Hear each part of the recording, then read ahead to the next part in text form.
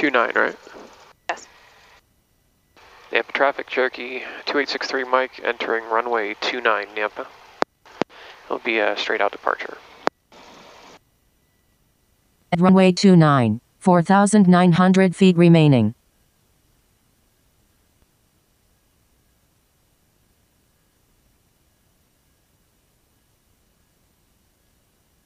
Okay, we have like everything still in the green.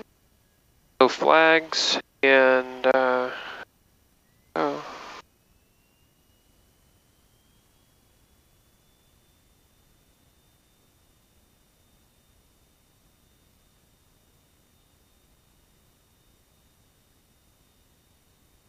Airspeed is alive.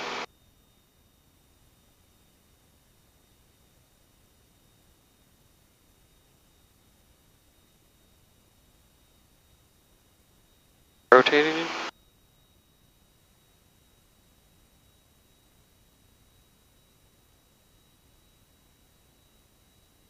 Positive rate of climb, gear is coming up.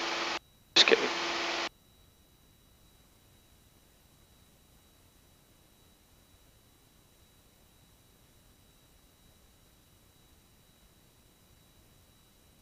It's not bad. I changed from uh, 5 o'clock a.m. departure to 6 o'clock. Just did everything else, and we're only 8 minutes after. So.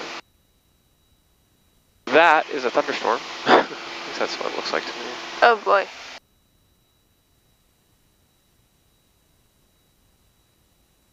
We're not taking off in the dark. This is good. See how that looks like an anvil? The wind's blowing that way. Oh yeah. See it blows off the top. That means the wind's really strong up there. Want me to bring up the map again? Uh, you can. I don't really have one up here. Yeah.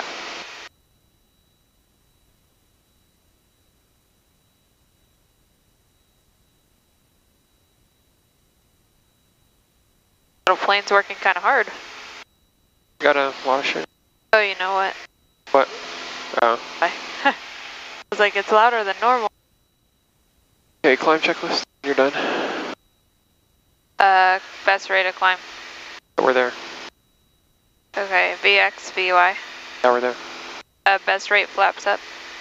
We're good. Trim. We're trim.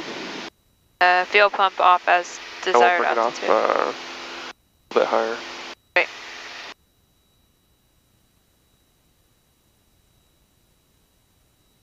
You shouldn't need oxygen this morning either, so if you don't want it, you don't have to Oh. have it. We're not going to be high enough to where it's going to be required or needed.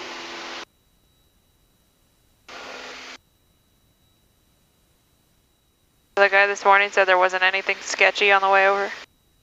Now, uh, we're going to get another brief in Dalles, but it looks like we'll be at the very least clear from here to there. Did you take a picture of that cloud? Um, I don't know. I'll retake it though.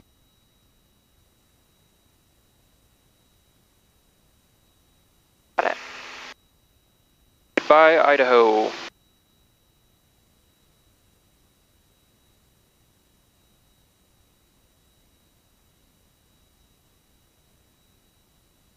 It's like a perfect example of a thunderstorm cloud.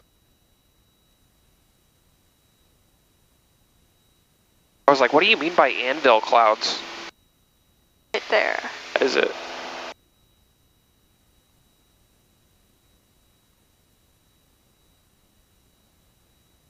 We're gonna beat most of the weather anyways, too. Yeah, imagine. so it looked like have weather on here, but yeah, it's on. We don't have ADSB yet though, but um, here is where it gets kind of sketchy, and over here is where we were going, and there was winds, uh, which is it's probably more that direction, which is, makes sense with the uh, clouds there. Um, doesn't look too mountainous where we were going to go, but the winds were 20 to 30 at that airport. A bunch. It was right down the runway though, so I was like, I can land in it. But um, I was there was a lot of green around there. I was pretty concerned about. So by going this way, all the green was up here. We're gonna miss that, and uh, we're gonna. What's the highest peak we're going over? Um, on on this route it says uh, 7900. Oh, that's not bad. We went over taller well, that's yesterday. I don't think that's doesn't make sense. It didn't say that a minute ago, so we'll see. But um, yeah, we'll see. It didn't show that before. There's no like. You just have to kind of steer clear here a little bit, so that's probably why it's saying that.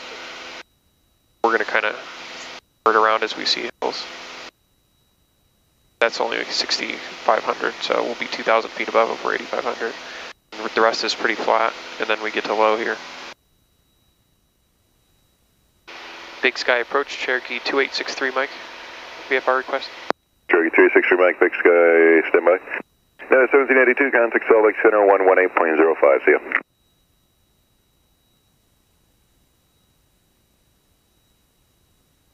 Salt Lake Center 118.05.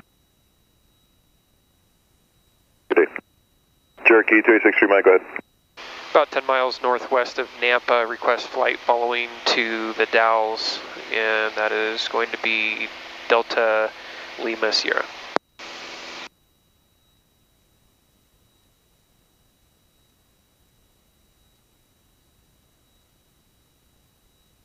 Cherokee 2863 Mike, Boise altimeter 2975, squawk 6071. 6071 2863, Mike.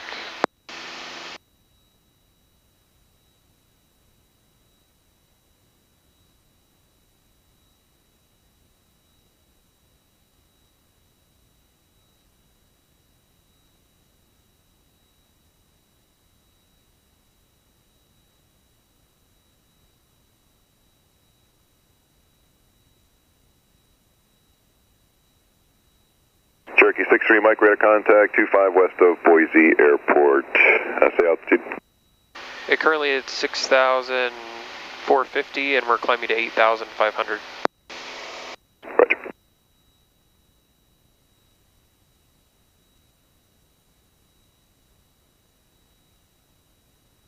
So here our weather came back up.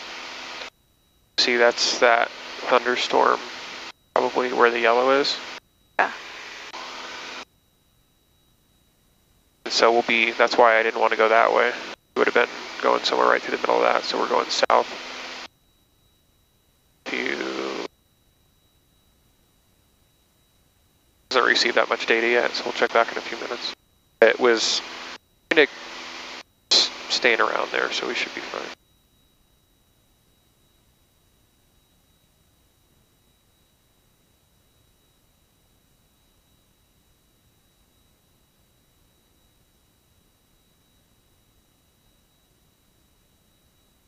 Pre-flighting didn't take very long.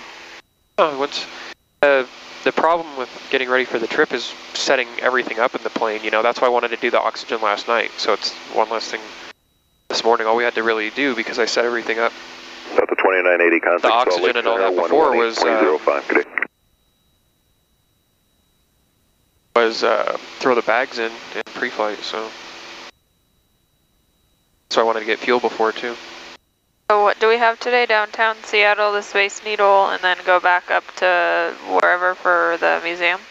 Oh, we can see the fish flying thing. You can have Yeah. fish thrown at you. Every time you take off your pants, I have fish thrown. at me. Just wait till your mom sees this video. Oh yeah, that's what a master of editing is for. Jeff will get that edited. I'm so tired. Just put your hand on here, just put it right where it's at. There's a climb. Keep it right at 80. If you want to hand fly, then you're, you know, you're more than welcome to.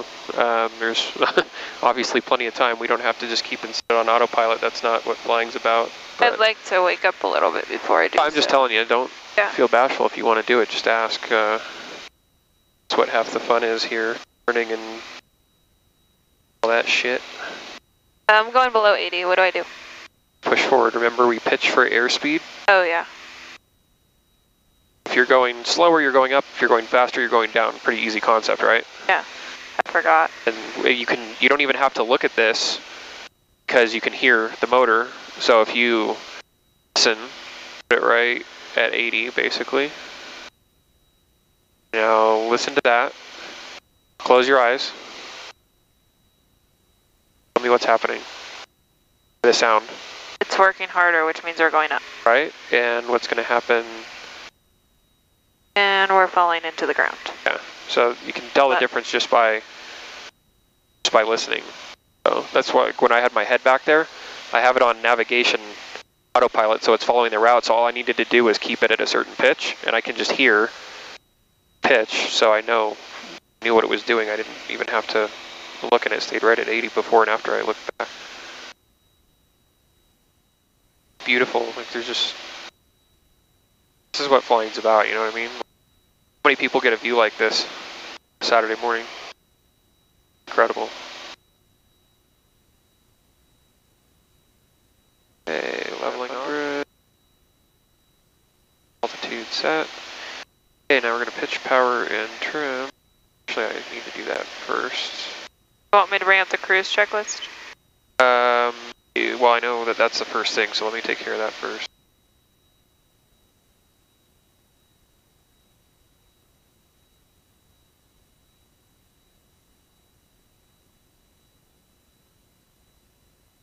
Turkey 63 Mike, contact Salt Lake Center 128.05. See ya.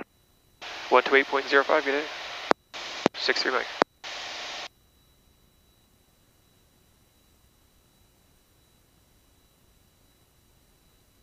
Salt Lake Center, Cherokee 2863 Mike with you.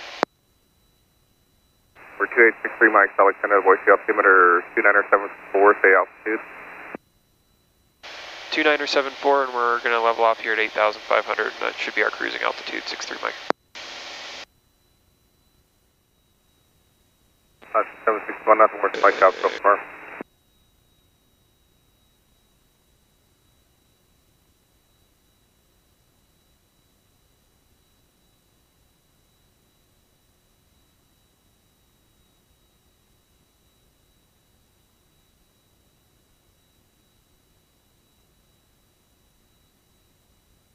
Okay, temps are good. So good. Were we, were we saying something, or? Cruise checklist, do you want that? Oh yeah, go ahead. Fuel pumps off. Yep. That was hard. No, no, it's a climb checklist. we pitch power trim, I just adjusted the mixture. Instrument's still coordinated. Fuel pump is on the correct tank. We'll wait for the timer. Lights are adjusted. Look at that. Done. Like I've memorized it or something. Only done this at number two. I mean, I'm not like an American airline pilot or anything, but a routine down. Oh, ground speed 101. We're gonna we have a headwind on this trip, so it's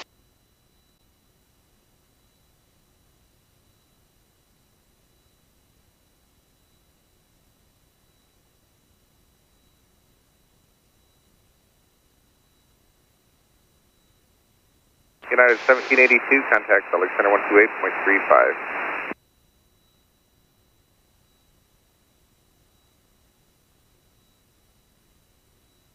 that's that mountain right ahead of us. So 7396, Salt Lake Center, radar contact a 9 miles east of Falls York for direct EFTA. go south of there.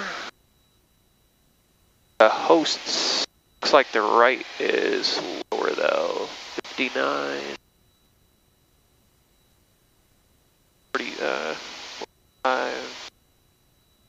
45, it's about even on both sides. The south would be more direct.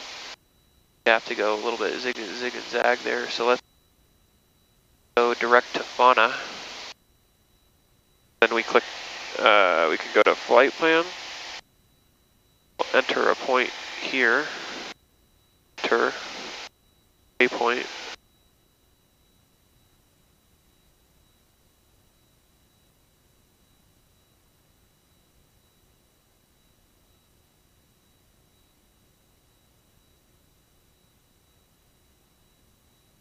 it's gonna go. Basically, we'll go like this. Oh, we never turned the heater off last night. Is that bad? Doesn't matter.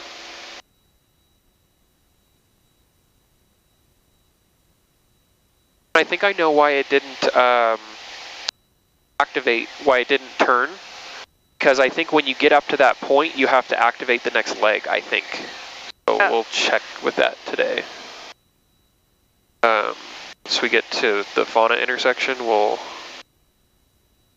check it out.